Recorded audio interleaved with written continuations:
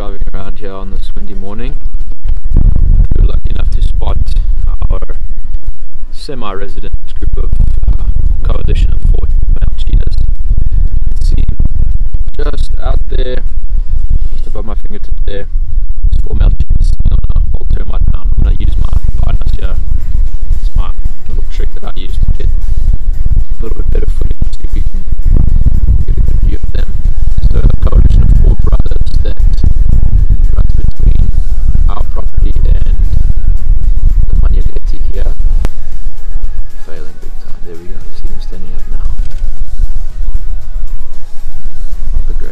but yeah, they're quite far away. Alright, I tried to get a little bit more stable here.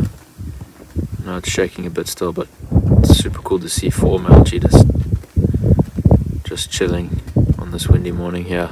And there's a big plain here just behind me, so good chance they could find a nice herd of impala to hunt. You can see the dominant male there on the left. He's the, the ram that's running this breeding herd. But yeah, they're going to be on high alert all day today with this wind and, and overcast cover.